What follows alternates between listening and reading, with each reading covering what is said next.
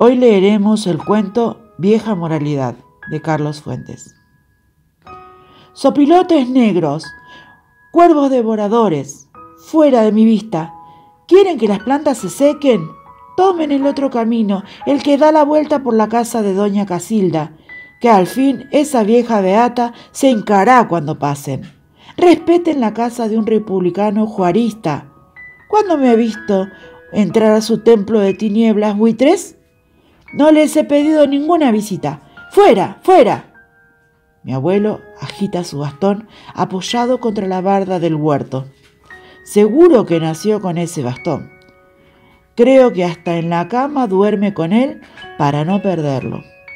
El puño del bastón es igualito al abuelo, pero nada más que el puño es un león melenudo con los ojos muy estirados, como si estuviera viendo muchas cosas al mismo tiempo. Y el abuelo, pues sí, también es un viejo melenudo con unos ojos amarillos que se le estiran hasta las orejas cuando ve venir la fila de curas y seminaristas que tienen que pasar al lado del huerto para ir más rápido a la iglesia. El seminario está un poco fuera de Morelia y mi abuelo jura que lo construyeron sobre el camino de nuestro rancho solo para fastidiarlo. No es la palabra que él usa. Las tías dicen que las palabras que usa el abuelo son muy inmorales y que yo no debo repetirlas. Lo raro es que los curas siempre han de pasar por aquí como si les gustara oír lo que grita.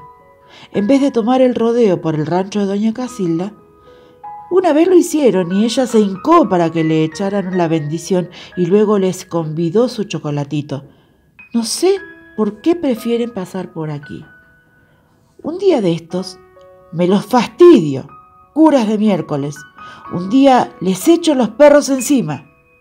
La verdad es que los perros del abuelo ladran mucho dentro del rancho, pero en cuanto pasan la barda son bien mansitos.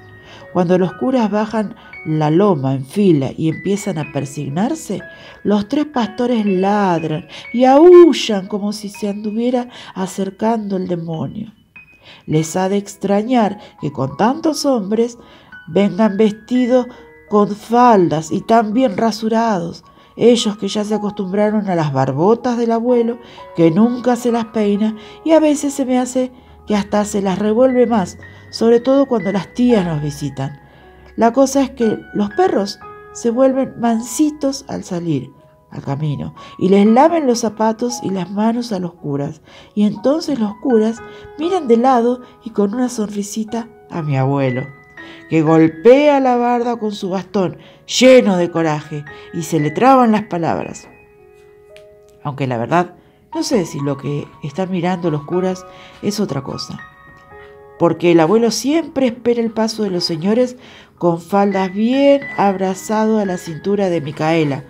Y la Micaela, que es mucho más joven que él, se aprieta contra el abuelo y se desabotona la blusa y se ríe mientras come un plátano dominico y luego otro y luego otro más y los ojos le brillan igual que los dientes cuando pasan los curas. No les da muina mi hembra, sanguijuelas grita el abuelo y aprieta más a la Micaela. ¿Quieren que les cuente dónde está el reino eterno? Lanza una carcajada y le levanta las faldas a la Micaela. Y los curas se ponen a trotar como conejitos asustados, de esos que a veces bajan de los bosques cerca del huerto y esperan a que yo les aviente zanahorias. El abuelo y la Micaela se ríen mucho, y yo me río igual que ellos y tomo la mano de mi abuelo que llora de risa y digo, mira, mira, saltan como conejitos. Ahora sí los asustaste. Puede que ya no vuelvan más. El abuelo aprieta mi mano con la suya llena de nervios azules y callos amarillos, como los troncos de madera guardados en la covacha al fondo del huerto. Los perros regresan a la casa y empiezan a ladrar otra vez, y la Micaela se abotona la blusa y le acaricia la barba al abuelo. Pero casi siempre las cosas son más tranquilas. Aquí todos trabajamos a gusto. Las tías dicen que es una inmoralidad que un muchacho de 13 años trabaje en vez de ir a la escuela. pero yo no entiendo qué quieren decir. A mí me gusta levantarme temprano y correr a la recámara grande, donde la Micaela se está haciendo las trenzas, mientras se mira al espejo con las horquillas en la boca y el abuelo todavía gruñe en la cama. Seguro, si se acuesta con las lechuzas y no duerme más de cuatro horas jugando al conquian con sus amigos hasta las dos de la mañana.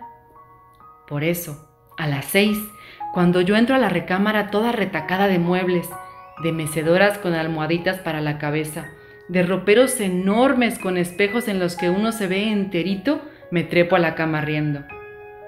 El abuelo se hace el dormido un rato y cree que yo no me doy cuenta. Yo le sigo el juego y de repente él lanza un gruñido de león que hasta el cristal del candelero tiembla y yo me hago el asustado y me escondo entre esas sábanas llenas de olores que no se dan en ninguna otra parte. Sí, a veces la Micaela dice, tú no eres un niño, eres un perro igual que esos, que de seguro no ven nada, pero nomás se dejan llevar por lo que huelen. Lo ha de decir en serio, porque de veras que entro a la cocina con los ojos cerrados y me voy derecho al jocoque, a los tarros de miel, a las quesadillas de flor, a las bateas de nata y a los mangos en dulce que la Micaela está preparando. Y sin abrir los ojos, meto los dedos en la cazuela y acerco los labios al chiquihuite donde ella va amontonando las tortillas calientes. Hombre, abuelo, le dije un día, si me diera la gana iría a todos lados, oliendo nomás, sin perderme, te lo juro. Afuera fácil. No acaba de salir el sol y los hombres ya están en el azar, aceradero y es el olor del ocote fresco lo que me lleva hasta allá, al cobertizo donde los trabajadores colocan en montones los troncos y las ramas y luego van sacando las tablas del grueso y del ancho que quieren con los serruchos.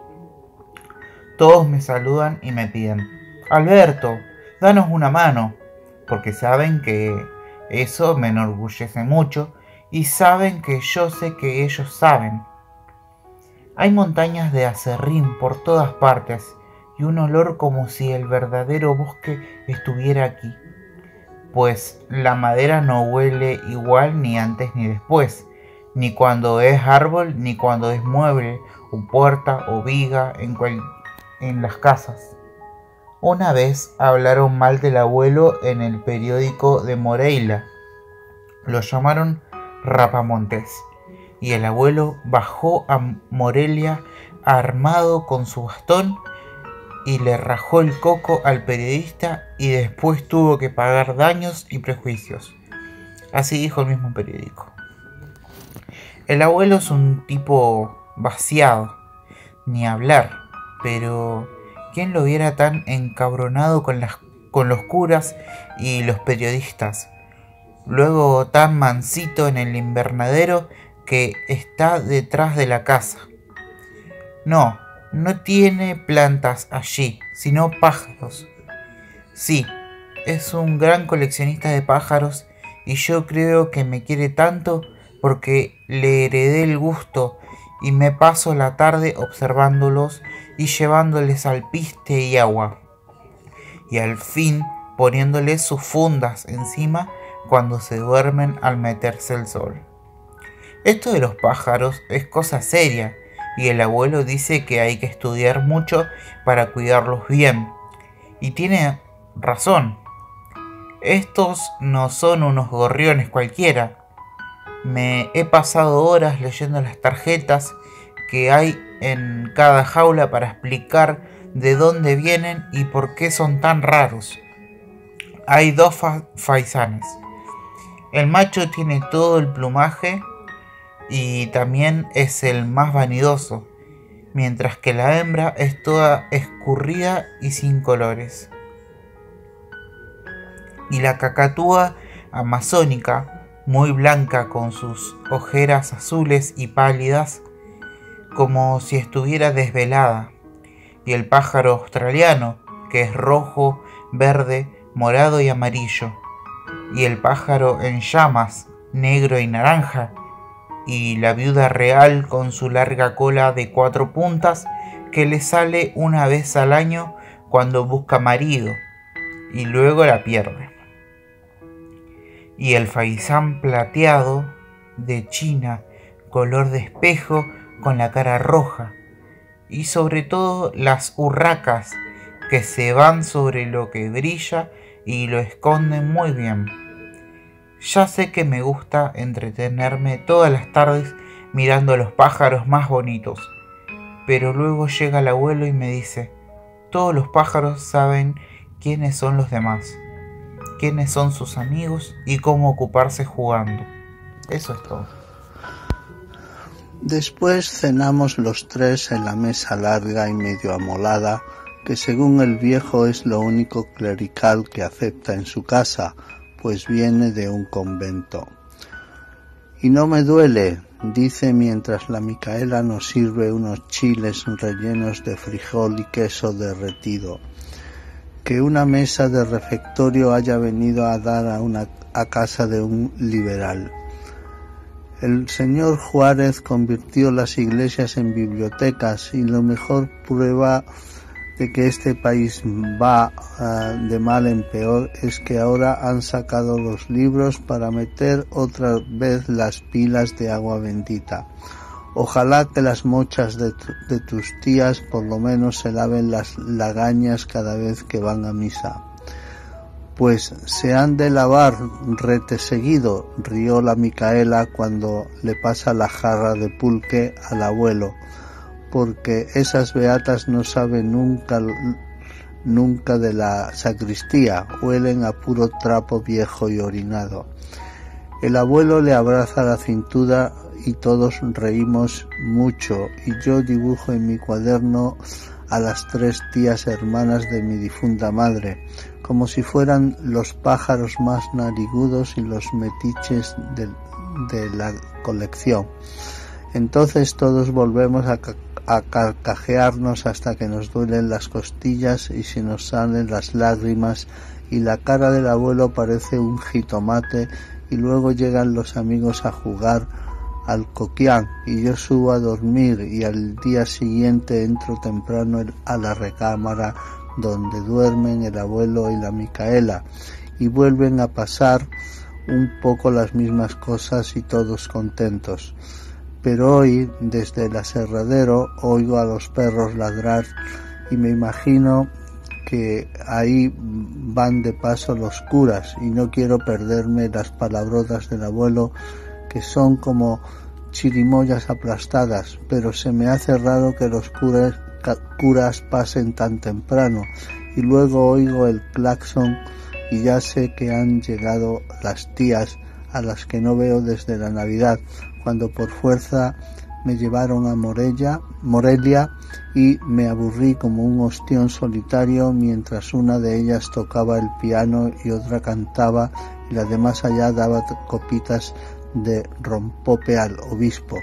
Decido hacerme disimulado, pero al rato mm, me da mm, me da curiosidad ver ese automóvil del año de la cachimba y salgo como quien no quiere la cosa chiflando y pateando la viruta y los alcornoques. Todos han entrado. Frente a la reja está esa maquinota con un toldo lleno de flecos y asientos de terciopelo con quijones bordados a mano. INRI, SJ, ASIM. Averigüé con el abuelo qué quieren decir esas palabras, esas letras bordadas. Luego, ahora seguro que el viejo se las está refrescando a su gusto para no apenarlo. Entro de puntas a la casa y me escondo entre las macetotas y, las plantas desde donde puedo verlos a todos sin que ellos me vean a mí.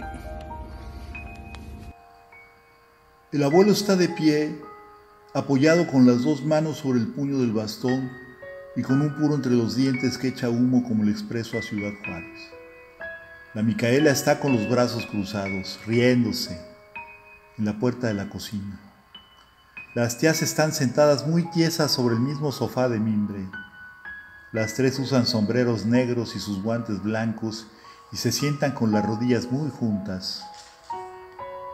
Dicen que dos son casadas y la de en medio soltera, pero no hay cómo averiguarlo porque la tía Milagros Tejeda de Ruiz solo es distinta en que un párpado se le frunce todo el tiempo, como si tuviera una ceniza en el ojo, y la tía Angustias Tejeda de Otero solo es ella misma porque parece que usa una peluca que a cada rato se le ladea, y la tía Benedicta Tejeda, la señorita, solo se ve un poco más joven y a todas horas se pasa un pañuelo de encajes negros por la punta de la nariz. Pero fuera de eso, las tres son muy delgadas, muy blancas, casi amarillas, con narices muy afiladas y se visten igual, con trajes de luto toda la vida. La madre era una tejeda, pero el padre era un santana como yo, y eso me da todos los derechos a mí, grita el abuelo y arroja humo por la nariz. Lo decente le viene de lo tejeda, don Agustín, dice doña Milagros con ese ojo de farolito. No lo olvide usted. Lo decente le viene de mis tompiates, vuelve a gritar el abuelo y se sirve un vaso de cerveza y les gruña a las tías que se han tapado los oídos al mismo tiempo. ¿Para qué les voy a explicar nada a ustedes, cacatúas? La saliva me sirve para cosas mejores. ¡Mujeres! chilla doña Angustias al arreglarse la peluca. Esa prostituta con la que usted vive amancebado. ¡Alcohol! murmura la señorita Benedicta con la mirada baja. No nos sorprendería que el niño haya aprendido a emborracharse. ¡Explotación! grita doña Milagro rascándose los cachetes. Lo hace usted trabajar como un peón de raya. ¡Ignorancia! guiña sus ojitos doña Angustias. Nunca ha puesto un pie en una escuela cristiana. Pecado. La señorita Benedicta une las manos. Ya cumplió los trece y aún no recibe la hostia y jamás va a misa. Irreverencia. Doña Milagros alarga un dedo señalando al abuelo. Irreverencia hacia la Santa Madre Iglesia y sus ministros a los que usted agrede soezmente todos los días. Blasfemo. La señorita Benedicta se seca los ojos con el pañuelo negro. Hereje. Doña Angustias agita la cabeza y la peluca le cae sobre las cejas. Amancebado, doña Milagros ya no puede con la temblorina del párpado. Adiós, mamá Carlota, canta la Micaela y espolvorea su trapo de cocina. Adiós al mocho y el traidor. Truena el abuelo con el bastón en alto. Las tías se toman de las manos y cierran los ojos. Para visita familiar ya duró mucho.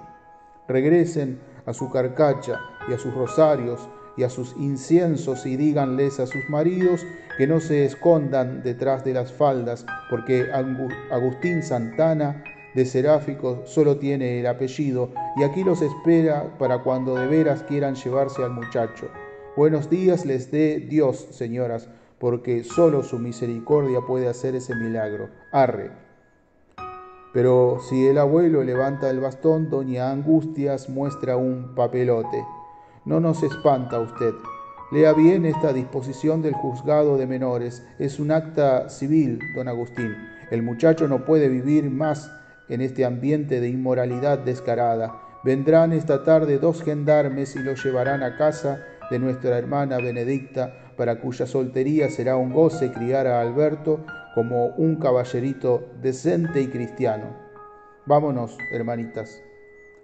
La casa de la tía Benedicta está en el centro de Morelia y desde los balcones se ve una placita con bancas de fierro y muchas flores amarillas. Al lado hay una iglesia y la casa es vieja, igual a todas las casas grandes de la ciudad. Hay un zaguán y un patio y los criados viven abajo y allí está también la cocina donde dos mujeres abanican todo el día las estufas de carbón. Arriba están las salas y los cuartos que dan todos sobre el patio pelón. Ni hablar, la tía Milagros dijo que había que quemar toda mi ropa vieja, mis overoles, mis botas, mis sudaderas y vestirme como ando ahora todo el tiempo, con un traje azul y una camisa blanca y tiesa de marica. Me han puesto a un viejo medio menso de profesor para que me enseñe a hablar gabacho antes de que empiecen las clases después de las vacaciones y se me esté haciendo un hocico de marrano de tanto pronunciar la U como quiere el maestro. Seguro tengo que ir todas las mañanas con la tía Benedicta a la iglesia y sentarme en las bancas duras. Pero por lo menos eso es distinto y hasta me divierte. La tía y yo comemos solos casi todo el tiempo, aunque a veces vienen las otras tías con sus maridos que me acarician el copete y dicen, pobrecito. Y luego me paseo solo por el patio o me meto en la recámara que me han dado. La cama es enorme y tiene un mosquitero. Hay una cruz en la cabecera y un bañito al lado. Y me aburro tanto que espero con ansias las horas de comer, que son las menos latosas y desde media hora antes de la comida empiezo a rondar la puerta del comedor. Visito a las dos mujeres que abanican los braseros, averiguo qué preparan y vuelvo a montar guardia junto a la puerta hasta que una de las criadas entra a poner los platos y los cubiertos en los dos lugares y luego la tía Benedicta sale de su cuarto, me toma de la mano y entramos al comedor. Dicen que la tía Benedicta no se ha casado porque es muy exigente y ningún hombre le cuadra, y que es muy vieja, que ya tiene 34 años. Mientras comemos, la miro para averiguar si se le nota que es 20 años más vieja que yo, y ella sigue sorbiendo la sopa sin mirarme ni hablarme. Nunca me habla, pero como además nos sentamos tan lejos en la mesa, ni a grito nos entenderíamos. Trato de compararla con la Micaela, que es la única mujer con la que he vivido antes, pues mi madre murió cuando yo nací y mi padre cuatro años después, y desde entonces vivo con el abuelo y la rejuntada, como le dicen las tías. Lo que pasa con la señorita Benedicta es que de plano nunca se ríe y solo habla para decir cosas que ya sé o darme órdenes cuando yo ya me le adelanté y estoy haciendo las cosas que ella quiere sin necesidad de que me las diga. Abusado. No sé si las comidas son o se me hacen largas, pero trato de entretenerme de varias maneras. Una es ponerle la careta de Micaela a la tía. Esto es muy chistoso porque me imagino las carcajadas y la cabeza echada para atrás y los ojos que siempre están preguntando si la cosa va en serio o es guasa. Así es Micaela, saliendo de ese cuello bien abotonado y del vestido negro. Otra es hablarle en mi idioma de invención para pedirle que me pase el café. Oye, Yeti, tía. Semapapa el feca. La tía suspira y no ha de ser tan mensa porque hace lo que le pido y solo me da una clase de educación. ¿Se dice por favor, Alberto? Pero como iba explicando, en lo demás me la traigo corta. Porque cuando llega muy seria a tocar mi puerta para regañarme porque todavía no me levanto, yo le contesto desde el patio muy bañado y muy catrín. Y entonces ella se esconde el coraje y me dice, todavía más seria, que es hora de ir a la iglesia. Yo sonrío y le muestro el misal y ella no sabe qué decir. Por fin me pescó un día, como al mes de vivir con ella, y todo por el cura chismoso. Me están preparando para la primera comunión y todos los niños que toman el catecismo se ríen de que un grandulón no sepa ni jota de quién es el Espíritu Santo. Además, se ríen no más porque soy el grandulón. Ayer me tocó al fin la platicada solas con el cura para prepararme para la confesión. Habló mucho del pecado y de que yo, yo, no tenía la culpa de no saber nada de la religión y de haber crecido en un ambiente muy inmoral me pidió que no tuviera pena y le contara todo porque nunca había tenido que preparar a un muchacho tan lleno de pecados como yo, para quien la perversidad era cosa de todos los días y ya ni siquiera podía distinguir entre el bien y el mal. Yo nomás me exprimía el coco pensando en cuáles serían mis pecados tan feos. Y como los dos estábamos ahí, en la iglesia vacía, mirándonos las caras sin saber qué decir, me puse a recordar las películas que he visto y empecé a echar de mi ronco pecho, que si asalté un rancho y me llevé todo el dinero, y además las gallinas, que si agarré a chicotazos a un pobre viejo ciego, que si le metí un puñal por la espalda a un policía, que si, que si encueré a la fuerza a una muchacha y luego le mordí la cara. El cura levantó los brazos y se persignó y dijo que todas las cosas que sabía del abuelo eran pocas y salió corriendo como si yo fuera la piel de Judas que dicen. Ahora sí, la tía entró hecha una furia a mi recámara antes de que yo despertara. Hasta creí que la casa se estaba quemando. Abrió de par en par las puertas y gritó mi nombre. Yo me desperté y la vi ahí con los brazos abiertos. Luego vino a sentarse en la cama junto a mí y me dijo que me había burlado del señor cura y que lo peor no era eso. Había dicho todas esas mentiras para esconder mis verdaderos pecados. Yo nomás la miraba como si estuviera medio desnivelada de la azotea. ¿Por qué no admites la verdad? dijo, y me tomó la mano. ¿Qué cosa, tía? Palabra que no entiendo. Entonces ella me acarició la cabeza y me apretó la mano. ¿Que has visto a tu abuelo y a esa mujer en actitudes inconvenientes? Seguro que mi cara de bobo no la convenció, pero juro que no entendí qué quiso decir, y menos cuando siguió hablando con la voz medio atragantada, entre que lloraba y gritaba, juntos, en pecado, haciendo el amor, en la cama.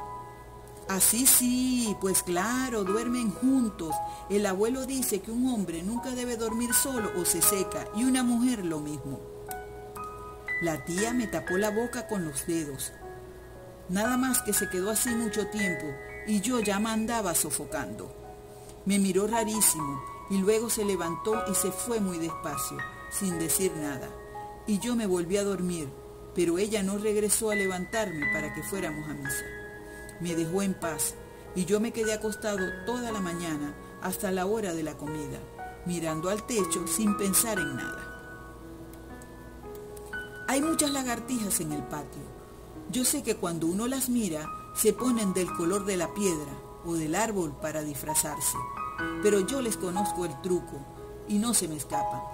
Hoy he pasado una hora siguiéndolas, riéndome de ellas, porque creen que no sé fijarme en sus ojos negros como alfileres pintados.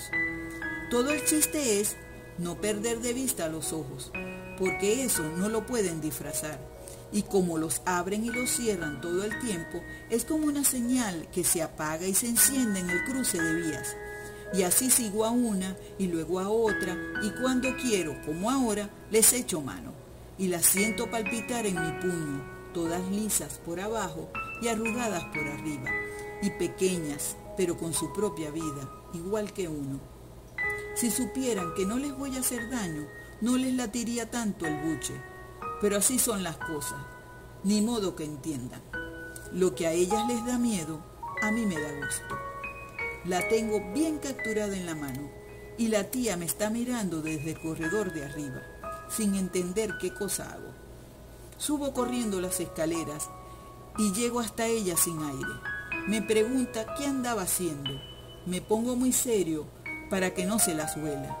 Ella se está abanicando en la sombra, pues hace mucho calor. Le acerco el puño cerrado y ella trata de sonreír. Se ve que le cuesta. Abre la mano para tomar la mía y yo le pongo la lagartija sobre la palma y le obligo a doblar los dedos. Y ella no grita ni se asusta, como yo creí. No empieza a regañarme ni tira la lagartija. Solo cierra más el puño y también los ojos. Y parece que quiere hablar y no puede y le tiembla la nariz y me mira como nadie me ha mirado nunca, como si quisiera llorar y le diera gusto.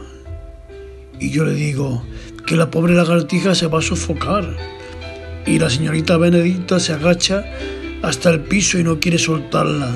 Y al fin se para los dedos y la deja corriendo por las baldosas y luego treparse por la pared y desaparecer. Entonces le cambia la cara a mi tía y se le tuerce la boca y veo que está enojada, pero sin estarlo de veras. Yo sonrío con la cabeza metida en los hombros y me hago el estimulado y salgo corriendo de regreso al patio. Me paso la tarde metido en el cuarto sin hacer nada. Me siento cansado, como un sueño, pues me está viniendo encima un catarrazo. Ha de ser la falta de sol y del aire libre en esta casa tan oscura. Empiezo a darme muina todo. Empieza a hacerme falta el aserradero, igual que los dulces de la Micaela, los pájaros del abuelo, el relajo cuando pasan los curas y las risas y la hora de la cena, y la entrada a la recámara todas las mañanas. Se me figura que hasta ahora la vida aquí en Morelia ha sido como una vocación. Pero yo más de un mes metido aquí y ya me cansé. Salgo del cuarto para cenar un poco tarde y la tía ya está sentada en la cabecera con su pañuelo negro en la mano. Y yo tomo mi lugar, pero ella no me regaña por llegar tarde. Y eso que lo hice a propósito. Al contrario, parece que tiene ganas de sonreír y ser amable. No más que yo tengo ganas de hacer un coraje, de regresar al rancho. Te tengo una sorpresa. Me ofrece un plato cubierto por otro y yo lo destapo. Son puras natas. La cocinera me dijo que te gustaban mucho. Gracias tía, le digo muy serio. Comemos en silencio y por fin a la hora del café con leche le digo que ya me aburrí de vivir en Morelia, que ojalá me dejara regresar con el abuelo que es donde vive a gusto. Ingrato, dice la tía, y se seca los labios con su pañuelo.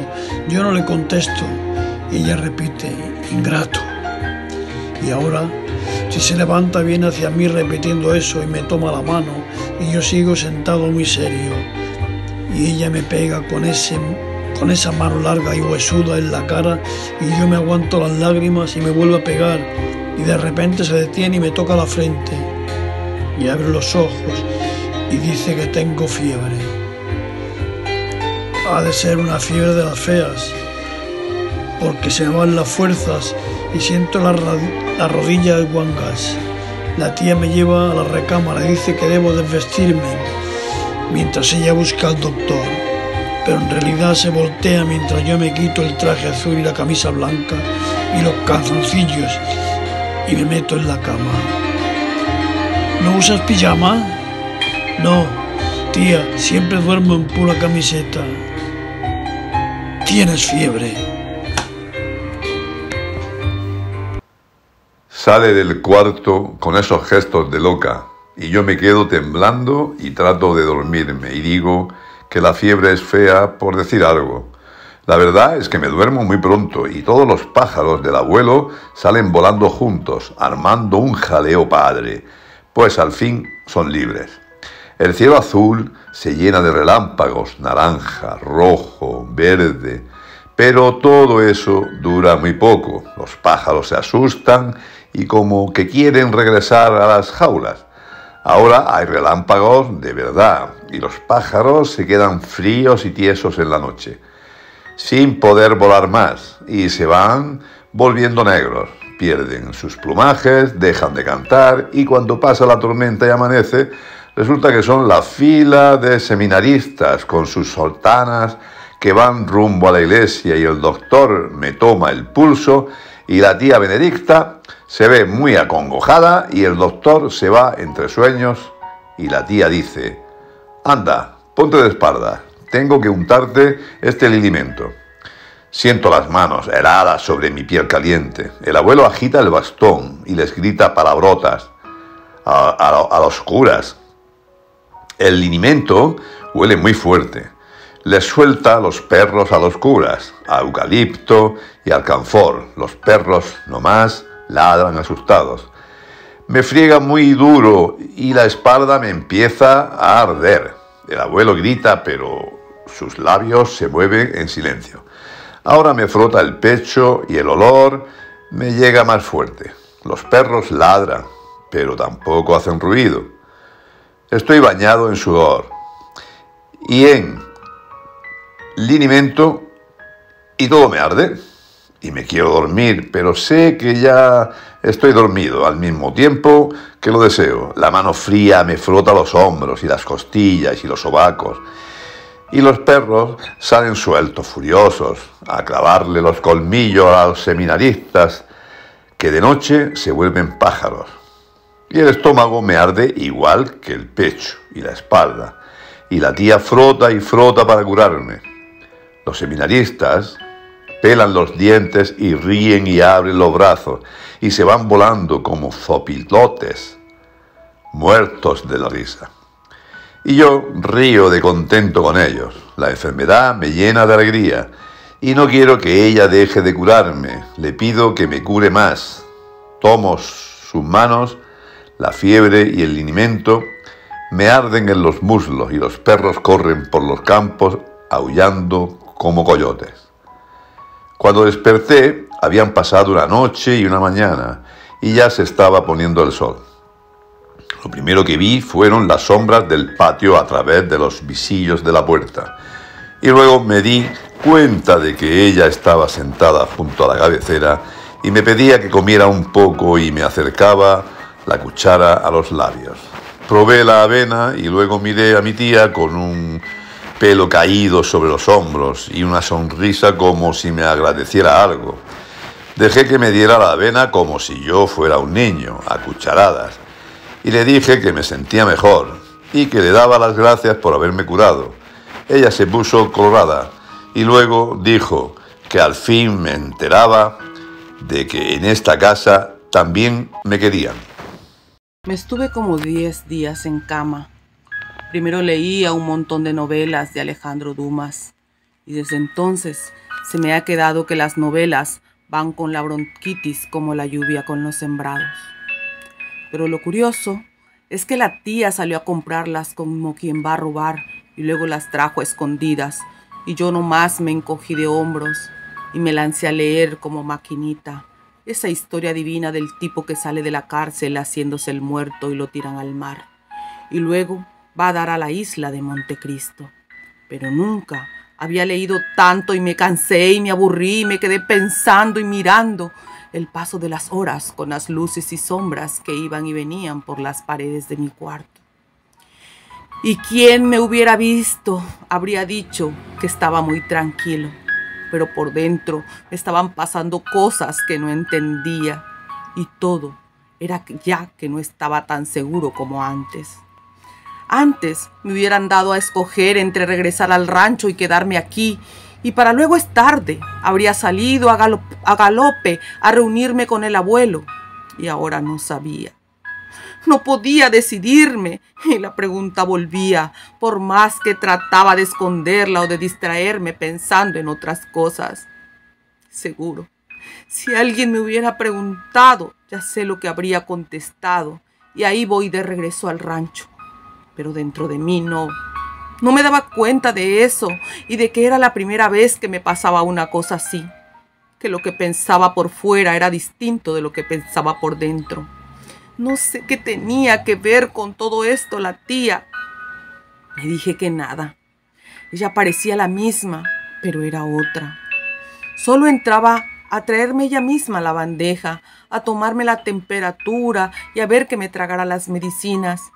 Pero yo la espiaba por el rabo del ojo y me daba cuenta de que cuando más triste se veía, más contenta estaba. Cuanto más contenta se veía, más ganas de llorar o algo se le notaba, y cuando se sentaba en la mecedora y se abanicaba, Cuando parecía que estaba descansando y muy quitada de la pena, más sentía yo que algo quería. Y cuando más trajinaba y hablaba, más sentía yo que no quería algo, que me hubiera deseado irse de mi cuarto y encerrarse en el suyo. Pasaron los diez días y ya no aguantaba el sudor y la mugre y los pelos tiesos. Entonces la tía dijo que ya estaba sano y que me podía bañar. Salté de la cama muy feliz, pero ah caray, casi me caigo del mareo que me entró. La tía corrió a cogerme de los brazos y me llevó al baño. Me senté muy mareado. Mientras ella mezclaba el agua fría con la caliente, la movía con los dedos y dejaba que se llenara la tina. Luego me pidió que me metiera al agua y yo le dije que se saliera y ella me preguntó que por qué. Le dije que me daba vergüenza. Eres un niño, haz de cuenta que yo soy tu mamá. Hola, Micaela. ¿Ella nunca te bañó? Le dije que sí.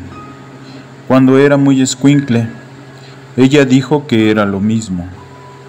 Dijo que casi era mi mamá, pues me había cuidado como a un hijo durante la enfermedad.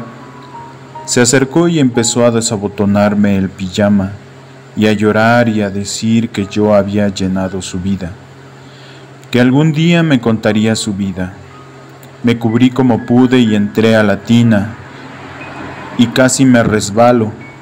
Ella me enjabonó, empezó a frotarme igual que aquella noche y ella ya sabía que eso me gustaba. Y yo me dejé hacer mientras ella me decía que yo no sabía lo que era la soledad y lo repitió varias veces. Y luego dijo que apenas la Navidad pasada yo todavía era un niño. Y el agua era muy tibia y sentía el cuerpo a gusto, enjabonado, limpiándome del cansancio de la enfermedad, con las manos que me acariciaban. Ella supo antes que yo que ya no aguantaba, y ella misma me levantó de la tina y me miró y se abrazó a mi cintura. Ahora llevo cuatro meses viviendo aquí. Benedicta me pide que le diga tía, enfrente de los demás. Me divierte escurrirme de noche y de madrugada por los pasillos. Y ayer casi me pesca la cocinera. A veces me canso mucho sobre todo cuando Benedicta llora y grita y se hinca ante el crucifijo con los brazos abiertos. Ya nunca vamos a misa ni comulgamos, y nadie ha vuelto a hablar de mandarme a la escuela.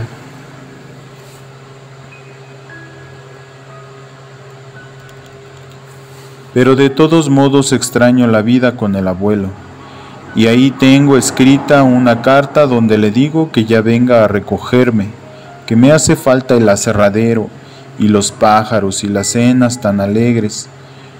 No más que nunca la mando, eso sí, voy añadiéndole cosas todos los días. Y le echo indirectas medio pícaras y a ver si el viejo se las huele. Pero no mando la carta. Lo que no sé describir muy bien es lo bonita que se ha puesto Benedicta, cómo ha cambiado de aquella señorita tiesa y enlutada que iba al rancho y quisiera contarle a la Micaela y al abuelo que sí vieran. También Benedicta sabe ser muy cariñosa y tiene una carne muy blanda y unos ojos pues distintos, brillantes y muy abiertos, y es toda ella muy blanca. Lo único malo es que a veces gime y llora y se retuerce tanto. A ver si algún día mando la carta. Hoy sí me asusté y hasta la firmé, pero todavía no la cierro.